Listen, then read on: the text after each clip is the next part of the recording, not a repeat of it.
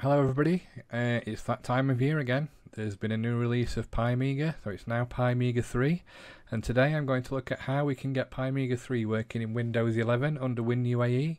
This has primarily been developed for the Raspberry Pi 4 and the Pi 400 but what this tutorial does is give you a chance to actually experience Pimiga 3 in the Windows environment obviously, as mentioned at the beginning, it might not have the full capacity and all the utils, etc., but it gives you an idea of what a great program stroke front end this is, especially if you're into the Amigas.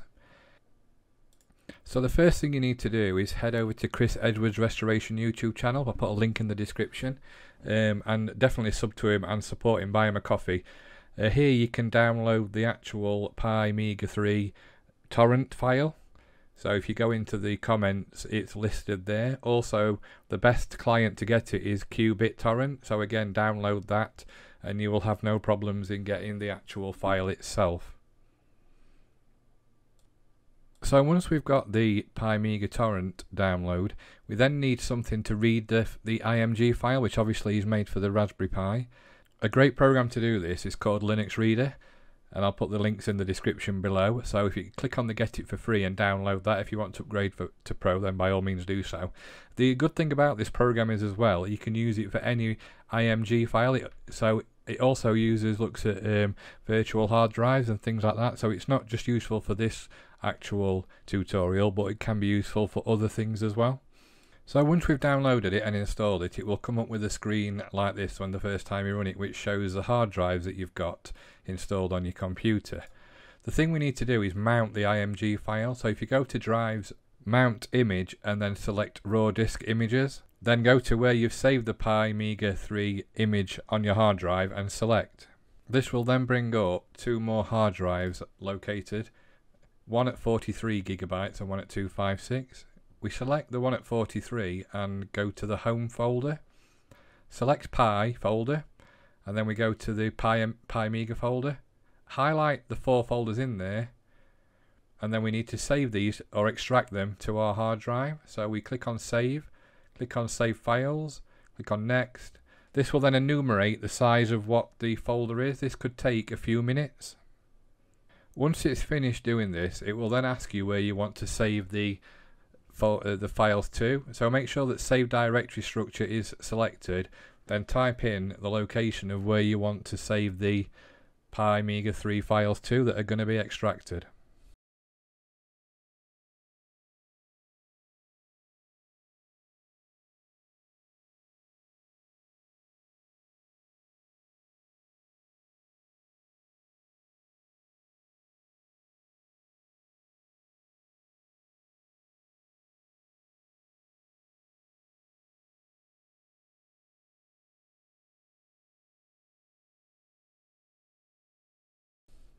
Then click next.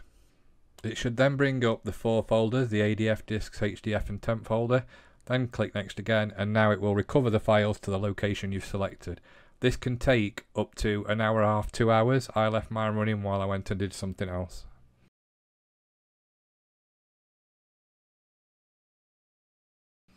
Once this is completed, we need to get the configure file. So again, go to the Pi folder, and we need to go into the Amiberry folder, and we need to go into the conf folder which then which is where the UAE files are located. So select the two files that we need so that's mega AGS and the Pimiga UAE again click save click on the next button and select where you want to save them and then again it will extract these files to that place. Next if you haven't already done so we need to download WinUAE the emulator that emulates the Amiga. Again, I'm not going into too much detail of how you install this, but basically you just click on which version you want, the 32-bit or the 64-bit installer, and click on it and download it. You will need the ROM files. Now, I'm not going to tell you where the ROM files are, but you can you can purchase the ROM files legally through Cloanto and Amiga Forever. If you go onto their web page, you can get the the Kickstart ROM files. I think it's as little as 9.9 euros at the moment because I believe there's a value edition again which includes the relevant Kickstart ROMs that are required to run WinUAE.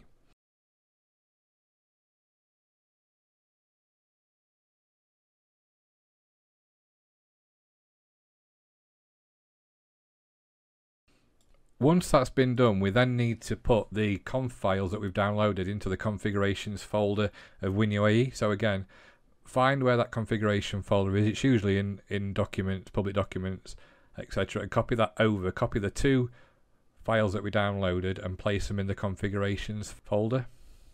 Once this is done, we now need to run WinUAE. We go to the configurations tab and you should see hmm. Pimiga 3 in there because we put it in there. So you click on the Pimiga 3 and we load that configuration. This is really important that we do that. So once we've loaded that, we can then go to CD and hard drive and you will see that it lists those folders that we were looking for. Now we need to tell the system where those folders are. So one by one we click on the item. So the first one is system. We, collect, we click on select directory. We then click on the folder disks, which is where the other folders are then select system, which is the folder it's looking for, and select select folder. This now tells WinUAE that that folder is located at that position on your hard drive and then should make the Pimiga system look for those and run correctly. We go down the list and do each one in turn making sure that we've selected the right location for each of the relevant folders. Once we've finished doing this, it is really important that you go back to configurations and click the save button, making sure that Pimiga 3 is the one that's selected so it saves the new locations. Once this is completed, we can now reset it, open configurations, double click on Pimiga, and it will load up Pimiga 3.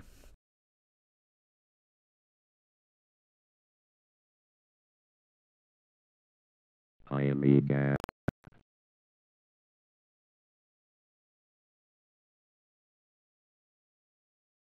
Pimiga 3 again has got all the great things built in, such as the games directory, the demos directory, lots of utilities in there, the ability to emulate a Mac within the system. It's such a really, really, really good um, app, program, whatever you want to call it. So, as I said before, go over to Chris Edwards Restoration YouTube channel. Again, links in the bump below. Again, the video that he's just put out today um, is really good. It goes into so much detail about what you can do and what you can't do in, in the program. Again, like I said, it's aimed for the Raspberry Pi, but a lot of the things you can still test and run on WinUAE on Windows 11. So have some great fun messing about with it, and thank you for watching.